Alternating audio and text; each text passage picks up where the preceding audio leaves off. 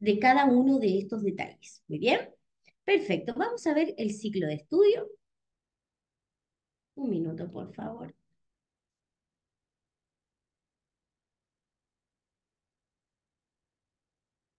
Perfecto.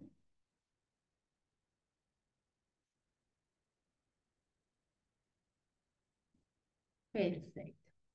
Muchos de ustedes me acompañaron durante el ciclo completo. Iniciamos hace dos semanas este ciclo de estudio, que como ya les decía, se compone de 10 sesiones donde todos los días estudiamos un capítulo del libro para la conducción en Chile. Hoy ya nos encontramos en la sesión número 10. Hoy vamos a hablar sobre la pauta del examen práctico. Y desde la próxima semana, desde el día lunes, volvemos a comenzar el ciclo de estudio desde el capítulo número 1. ¿Ok? Volvemos a iniciar desde la sesión número 1. Así que si ustedes se perdieron alguna sesión, están ingresando por primera vez, es su segunda vez que están acá, claramente que por supuesto les va a servir comenzar a estudiar desde el principio. Muy bien, así que están cordialmente invitados desde el día lunes, comenzamos desde la sesión número 1. Vamos a estudiar entonces la pauta del examen práctico. Buenos días aquí a los que se van conectando el día de hoy. Josué, buenos días Josué. Nosotros estudiamos todos, todos los días desde nuestra plataforma practicatest.cl. Nos vamos a la sección de temarios. Y aquí nos vamos donde dice temario B. Y aquí están todos los temas del libro para la conducción en Chile. Fíjese que el último que aparece aquí dice bonus examen práctico. Todo lo que necesitas saber para superar tu examen práctico. Entonces vamos a poner práctico. Y aquí está el tema que vamos a estudiar el día de hoy. ¿Perfecto? Muy bien.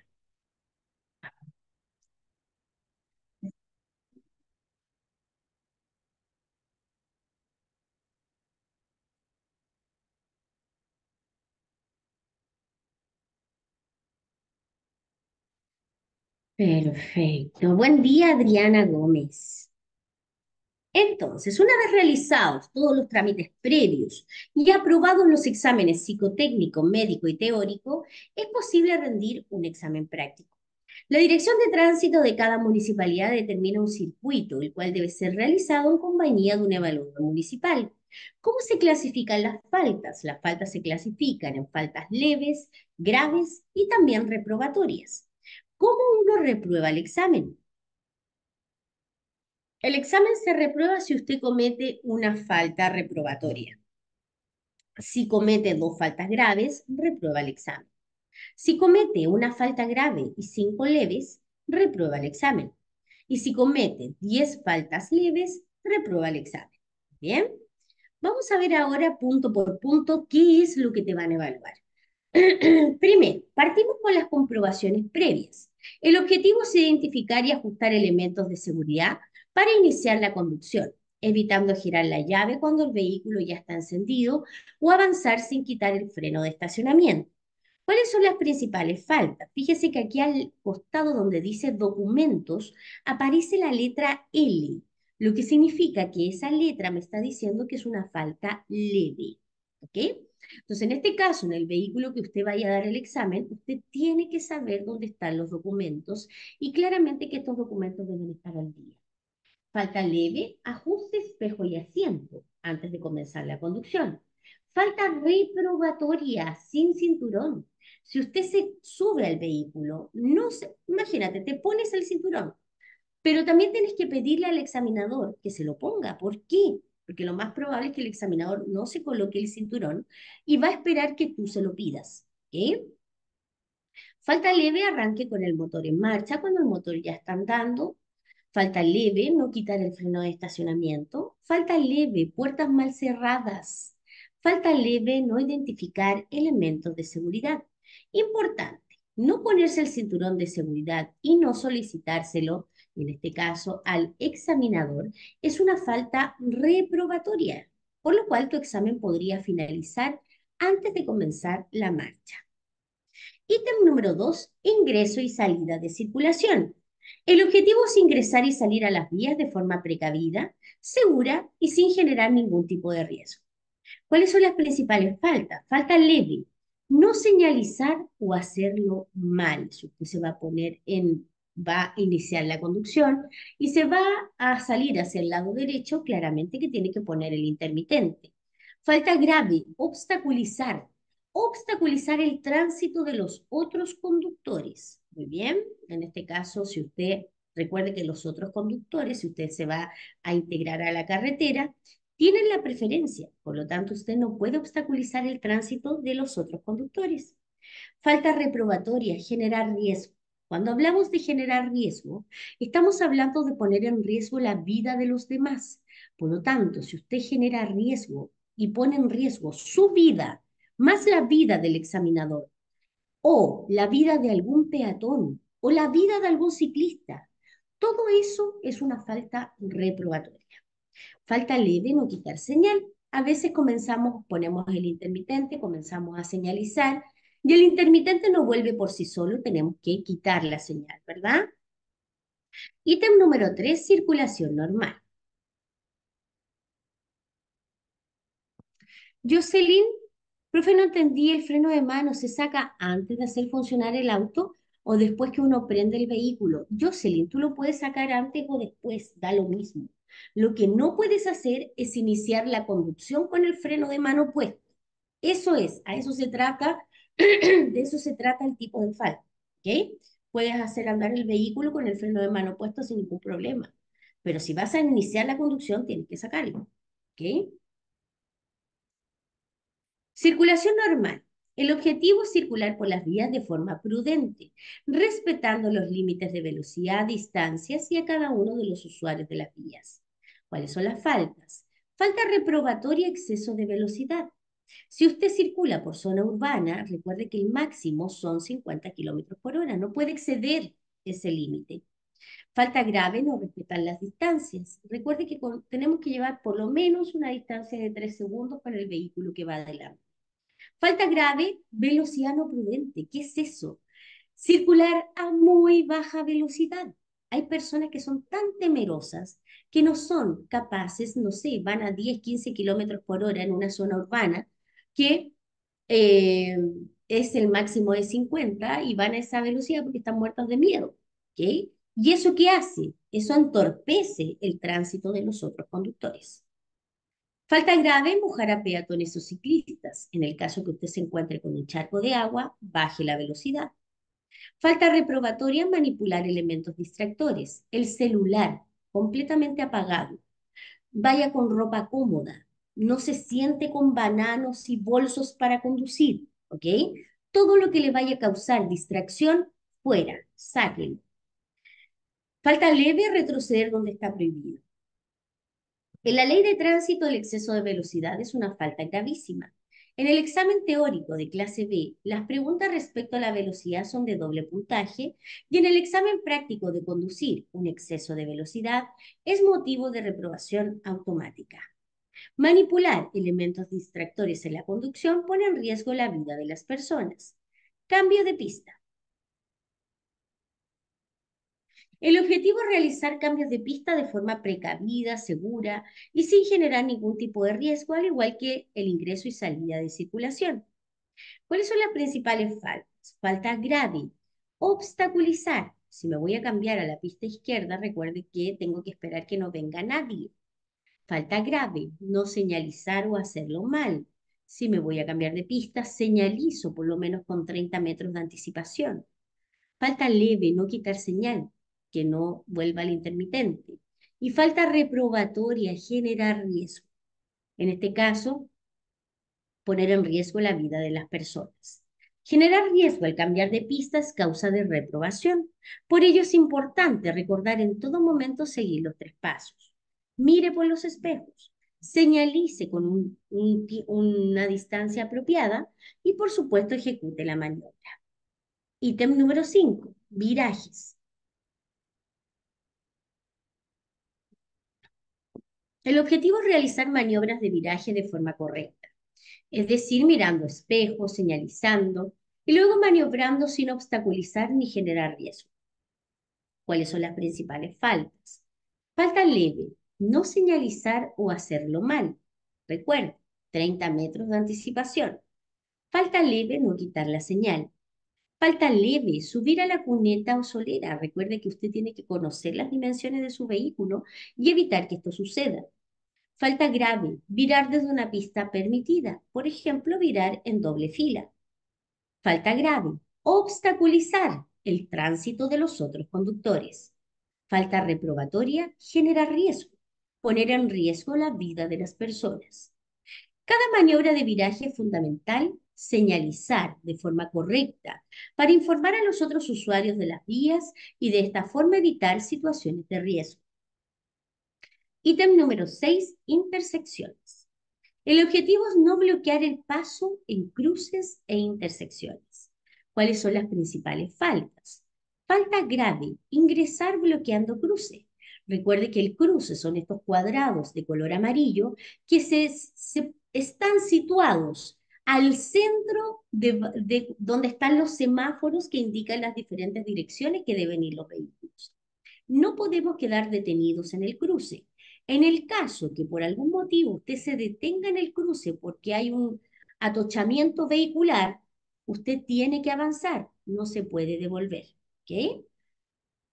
No todas las áreas de cruce están señalizadas con las demarcaciones amarillas de no bloquear cruce. Por ello, recordar ingresar al cruce solo si hay espacio suficiente para continuar la conducción en la vía a continuación de la intersección. Número 7. Demarcaciones. El objetivo es identificar cada demarcación y cumplir con lo que indica. ¿Cuáles son las principales faltas? Falta leve, no respetarlas. Falta leve, posición incorrecta. Recuerde que las demarcaciones son todas las líneas que están pintadas en el piso.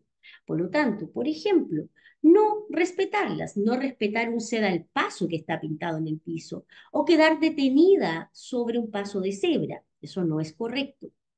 Importante, al igual que toda información reglamentaria presente en las vías, las demarcaciones son tan importantes como todas las señales éticas. Ítem número 8, adelantamientos y sobrepasos. El objetivo es realizar maniobras de adelantamiento y sobrepaso responsablemente sin poner en riesgo la vida de las personas. ¿Cuáles son las principales faltas? Falta grave, paso peatonal cruce no regulado. En este caso, no puedo adelantar en un paso peatonal o en un cruce. Falta grave. Riesgo en sentido contrario. No calcular bien la distancia del vehículo que viene por la otra pista. Falta grave. En zonas no permitidas, recuerde que una línea continua me dice que no puedo adelantar. En adelantamientos y sobrepasos, todas las faltas son consideradas graves pues pueden poner en riesgo la vida de las personas. Les recuerdo también, hay personas que nunca les, o sea, hay, la verdad es que es relativo, no sé si te vaya a tocar o no hacer un adelantamiento. Hay muchas situaciones de examen práctico que no te toca hacer un adelantamiento, muy bien, pero hay situaciones que te ves obligada a hacer un adelantamiento. Por ejemplo, imagínate que el vehículo que va delante tuyo queda, va con un desperfecto mecánico, ya va súper, eh, va malo, va en pana, como se dice, ¿ok? Y en ese caso va a 5 kilómetros por hora, 10 kilómetros por hora. Efectivamente, en ese caso usted tiene que ejecutar un adelantamiento y pasar, por supuesto, este vehículo. Número 9, estacionamiento. El objetivo es realizar maniobras adecuadas de estacionamiento en lugares permitidos y respetando las distancias reglamentarias. ¿Cuáles son las principales faltas en estas maniobras? Falta leve separación 30-60. 30 centímetros de la cuneta, 60 centímetros de los otros vehículos. Les recuerdo que el examinador, en este caso, no anda midiendo que esto sea exacto. ¿ok? Claramente que no, no tiene que ser exacto, pero tenemos que saber más o menos cuánto es 30 y cuánto es 60 centímetros. Falta leve no poner el freno de estacionamiento. Falta leve subir, forzar o golpear una cuneta o solera. Falta grave bajar sin observar el tránsito. Atención, recuerde que El examen no termina cuando usted se estaciona al final. Usted termina el examen y el examinador le va a pedir que se reúnan afuera del vehículo y usted cuando se baje, con mucho cuidado, abra la puerta y por supuesto visualice que no venga nada ni nada. Muy bien. Falta grave en un lugar no permitido.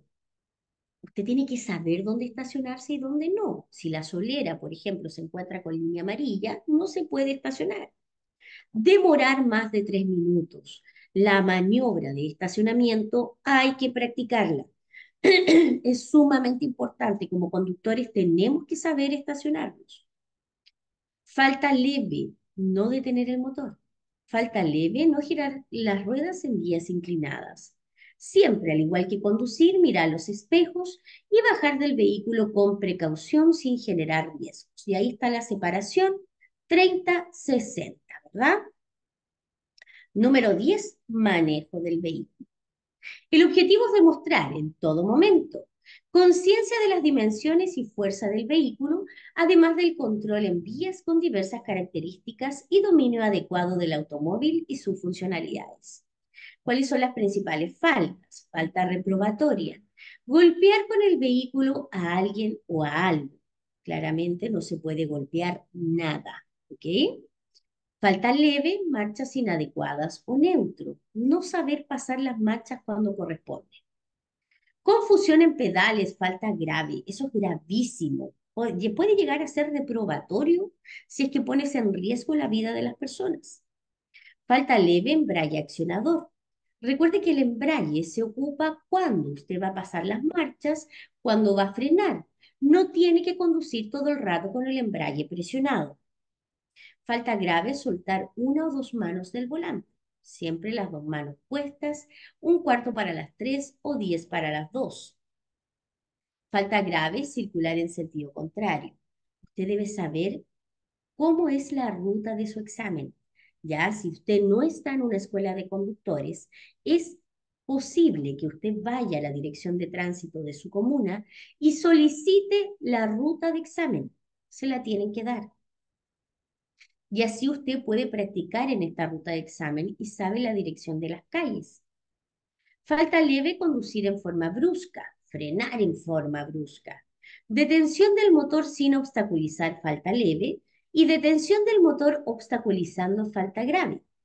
Si a usted se le detiene el motor, por ejemplo, en un paso de cebra donde no hay nadie ni nada, nada en este caso no hay ningún vehículo atrás suyo, no hay personas cruzando la calle y se le detiene el motor, usted enciende el motor y sigue su marcha. Eso es una falta leve. Pero si a usted, por ejemplo, se le detiene el motor en un semáforo, por ejemplo, eh, en un semáforo donde tú al ponerse la luz verde, los vehículos te van a empezar a tocar la bocina, te van a empezar a llamar la atención. ya, eso es obstaculizar es obstaculizar el tránsito de los otros conductores y eso es una falta grave. Falta leve sin control en vías inclinadas. Importante golpear a alguien o algo con el vehículo es motivo de reprobación automática, además de ser un gran riesgo. Observación.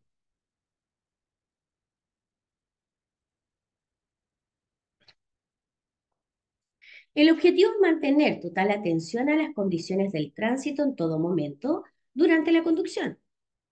¿Cuáles son las principales faltas? Falta leve no observar el tránsito. Les recuerdo que los conductores no solamente tenemos la visión directa, sino también la visión periférica.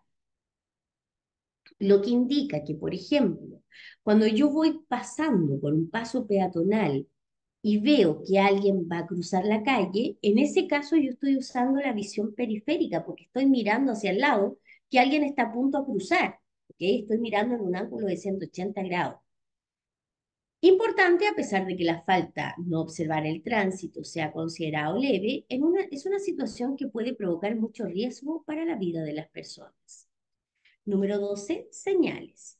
El objetivo es respetar las señales del tránsito en todo momento durante la conducción con especial énfasis en aquellas que no respetarán o pongan en riesgo la vida de las personas. ¿Cuáles son las principales faltas? Reprobatoria siempre. Pare y luz roja.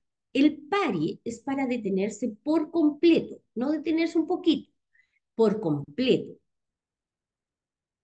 Eh, falta grave, señal se da el paso. Falta grave, señales de prohibición o restricción. Falta reprobatoria, no obedecer a carabineros. Importante, las indicaciones de carabineros prevalecen sobre las señales del tránsito. ¿Muy bien? Número 13.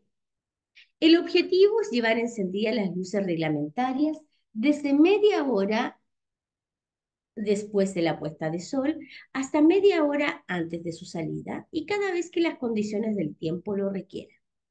¿Cuáles son las principales faltas? Falta grave, no encender las luces. Atención, importante.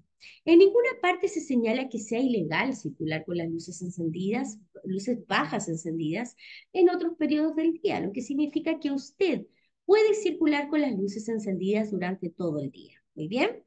Ahora, siempre con las luces bajas es recomendable.